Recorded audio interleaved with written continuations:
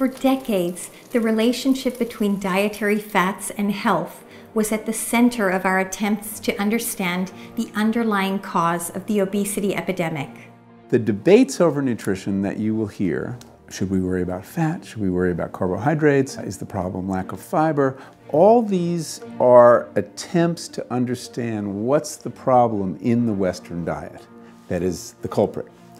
Because people would like to figure that out because then you can just adjust that one thing and go on your merry way. But we haven't gotten that down yet. We don't know the answer to that question with any real confidence. Despite the important roles that fats play in our bodies, this entire category of food was shunned for much of the 20th century. This led to an enormous increase in the availability of fat free and reduced fat foods. But in spite of this, obesity rates continue to rise. Today, rising awareness about the difference between the so-called good fats and bad fats have allowed this important part of our food supply to make a comeback. But once again, the pendulum threatens to swing too far in the opposite direction. Dietary fats can be divided into two families, the saturated and the unsaturated fats. Saturated fats get their name from the fact that their fatty acids are saturated with hydrogen molecules. This means that they can lie flat and pack together densely so that saturated fats tend to be solids at room temperature. Animal fats, like lard and butter, are good examples.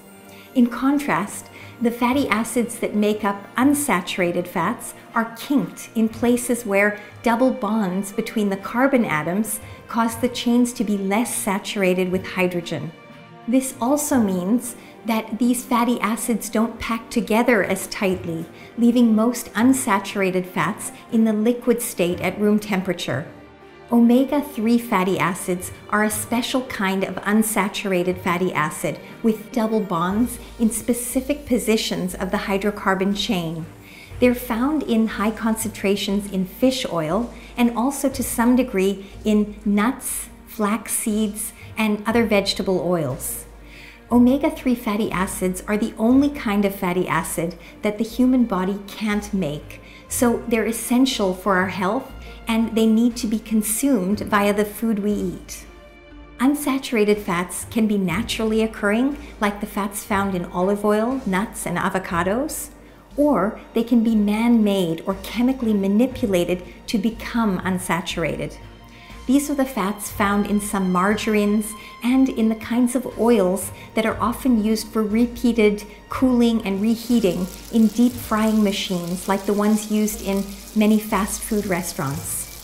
The problem with chemically engineered unsaturated fats is that the chemical bonds between the carbon atoms are less stable, so they easily flip into a trans orientation rather than a cis orientation, and this is where we get the name trans fats. Trans fats are problematic for our health because they increase the amount of LDL cholesterol in the blood and they lower the amount of HDL cholesterol, the good cholesterol, in the blood. By doing this, trans fats promote the formation of arterial plaques and increase the risk of heart disease. While saturated fats have also been shown to contribute to increases in LDL cholesterol, they haven't been shown to lower HDL cholesterol or to contribute to the development of arterial plaques as significantly as trans fats. So, what's the bottom line when it comes to foods that contain fat? Probably the most sensible food recommendation is this.